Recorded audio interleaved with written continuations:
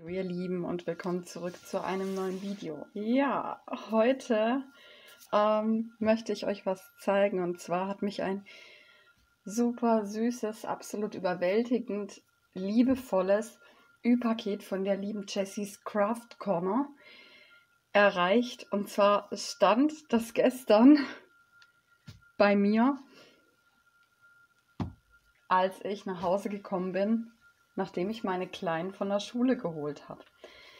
Ich habe nicht damit gerechnet, überhaupt gar nicht. Ich hatte keine Ahnung, dass was ankam. Ich wusste, sie wird oder sie macht bei, den, bei dem aktuellen Herbst-ATC-Tausch mit, ähm, der noch bis 8.12. geht, beziehungsweise auf den 15. verlängert wurde. Spoiler. Ja, und ich stand erstmal da und wusste gar nichts ähm, mit dem Paket so hundertprozentig anzufangen, weil ich schlicht einfach überhaupt nicht damit gerechnet habe, dass mehr ankommt als ähm, ihre ATCs, die jedes Mal einfach echt total genial sind. Aber ich will nicht mehr spoilern. Genau. Und ich habe dieses Paket aufgemacht, nachdem ich ihre Adresse gelesen habe und dachte mir, hä? Wie jetzt? Ähm, ja. Darin war dieses wunderhübsche, süße, zauberhaft schöne Album. Und was mich als, jetzt muss ich organisieren, ich habe es nämlich ein bisschen zusammengepackt. Was mich dann als nächstes noch angelächelt hat, waren diese war diese süße Karte mit den zwei Faultieren. Oh mein Gott, so süß. Ja, ähm, das Tutorial für dieses Weihnachtsalbum findet ihr auf Jessys Craft Corner.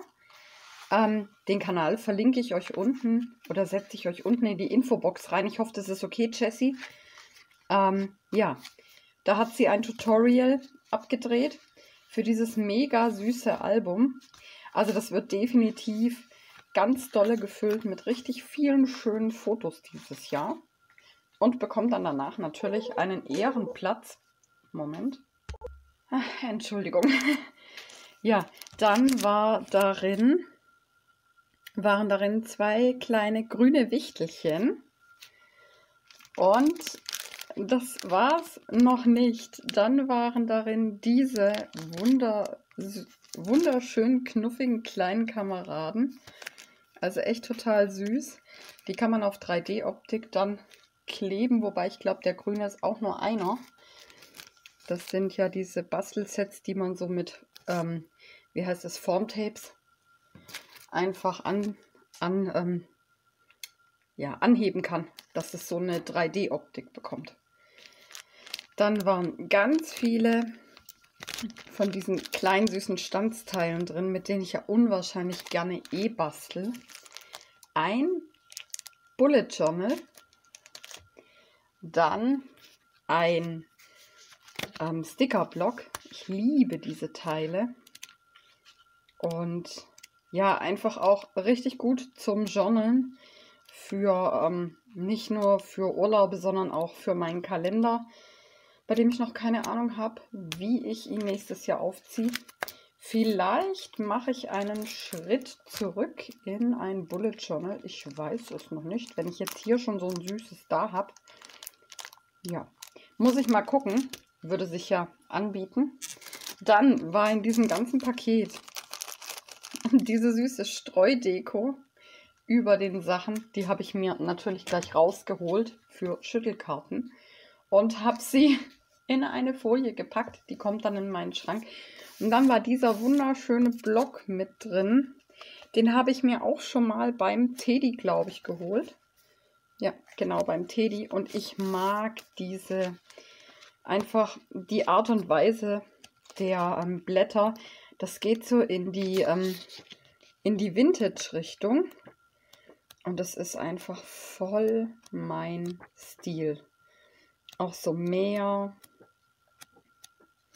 ja, also ich muss ehrlich gestehen, als ich das Paket geöffnet habe, blitzte mir, wie schon gesagt, dieses ähm, süße Album entgegen von dem ich mir das Tutorial definitiv jetzt dann nachher noch angucken werde. Und ich werde es auch definitiv nachbasteln. ähm, und ähm, ja, noch eine andere Sache und die hat mich schon so, oh, da ist ja noch mal ein Sternchen.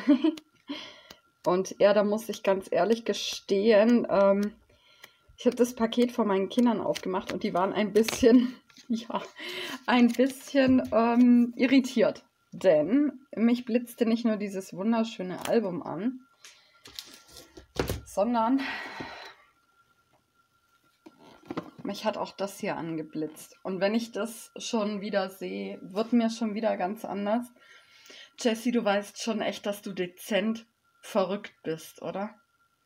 Also so einen kleinen Ticken. Ähm, dazu muss ich eine kleine Vorgeschichte erzählen. Und zwar, ähm, ich bin ja regelmäßig auf Planer-Treffs. Also wenn ihr hier aus der Gegend kommt und ihr habt Lust mal zu einem Planer-Treff und ich erfahre, dass der Planer-Treff Steinheim wieder stattfinden sollte, sage ich euch gerne Bescheid. Ja, da war eine Bekannte, die umgezogen ist und halt ihre ganzen Sachen ähm, aussortiert hat und die hat so einen Karton ein bisschen größer, also ein bisschen breiter, ein bisschen höher mitgebracht und meine Tochter hatte diesen, den Inhalt dieses Kartons gesehen und hat sich total verknallt. Ja, daraufhin habe ich meiner Tochter den Inhalt mitgenommen und ähm, habe mir noch so ein ähm, flexibles Filofax von ihr mitgenommen, habe ihr das abgekauft. Ja, dementsprechend kannte ich die Art dieses Kartons. Und als ich den dann gesehen habe, habe ich nur gedacht, oh mein Gott, oh mein Gott, oh mein Gott. Nein, sie wird doch nicht, sie hat doch nicht. Sie hat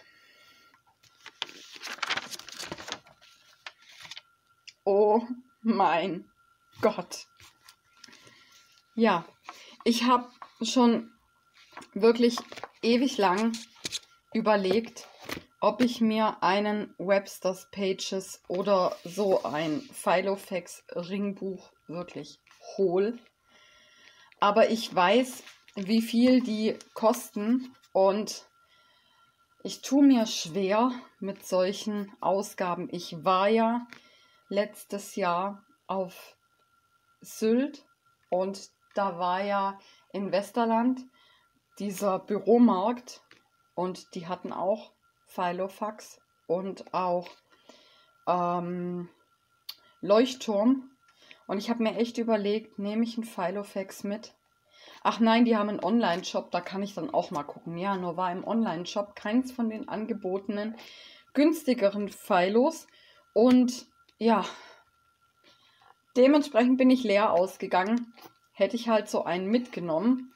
Wobei ich es jetzt nach dieser Mega-Mods-Überraschung ja auch überhaupt nicht mehr schlimm finde, dass ich mir keinen mitgenommen habe. Ich habe diesen Karton geöffnet und habe nur dieses Büchlein da drin gesehen und ich habe wirklich, ich, ich, ich konnte mich überhaupt nicht mehr. Also ich habe wirklich nur noch geheult. Und ja, meine Kinder waren halt sichtlich bisschen überfordert, wo ich dann auch nur gesagt habe, alles ist gut, alles ist gut, boah, guckt euch das an, boah, ich freue mich so. Und ja, da war es dann gut. ja, also du bist wirklich echt total verrückt, ne? nur dass du es weißt.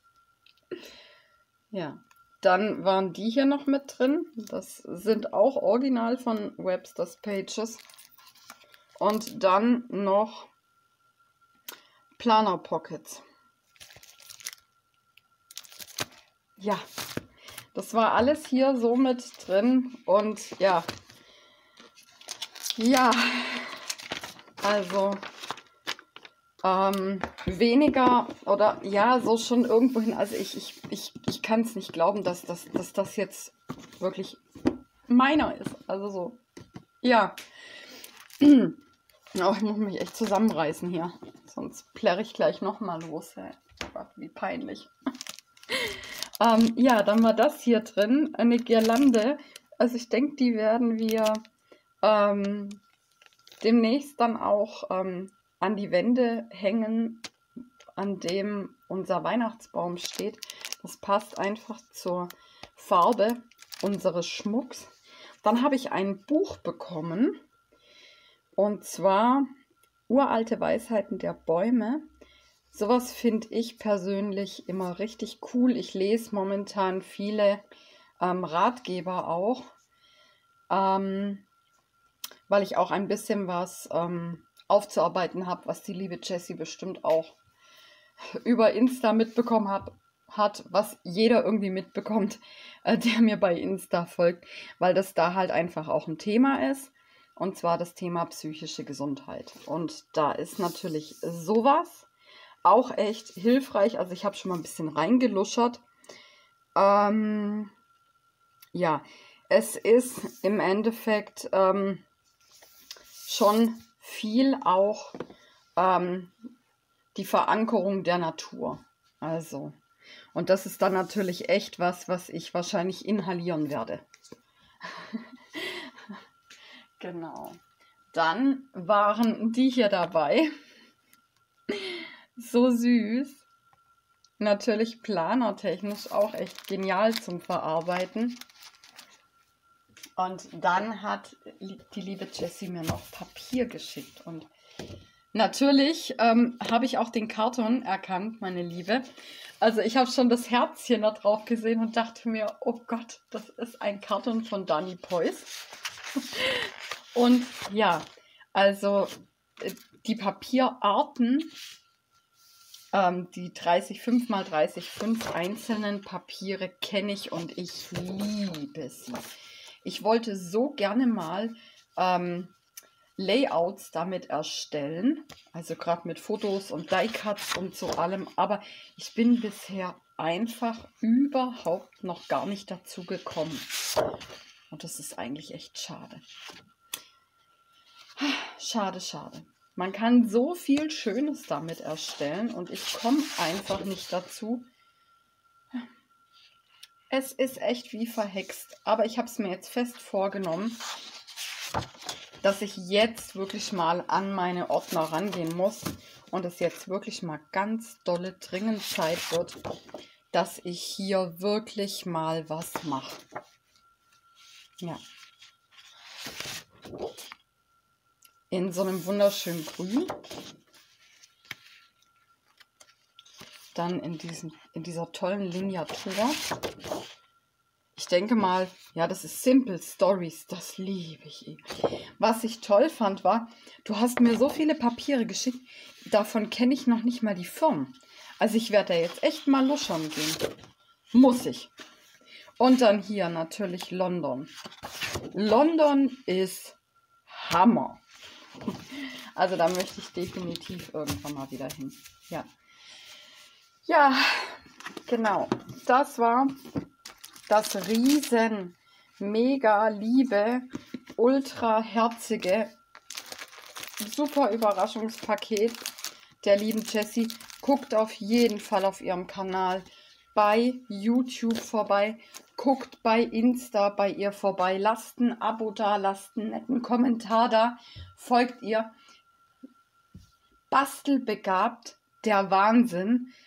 Tolle Tutorials, eine super liebe Frau, eine mega sympathische Stimme. Ja, was soll ich noch sagen? Ich bedanke mich auch hier nochmal ganz, ganz herzlich bei dir und euch anderen wünsche ich jetzt einen richtig schönen Tag. Ich gehe jetzt mal ein bisschen verräumen und ja, habt eine schöne Zeit und wir sehen uns dann im nächsten Video wieder. Macht's gut. Ciao.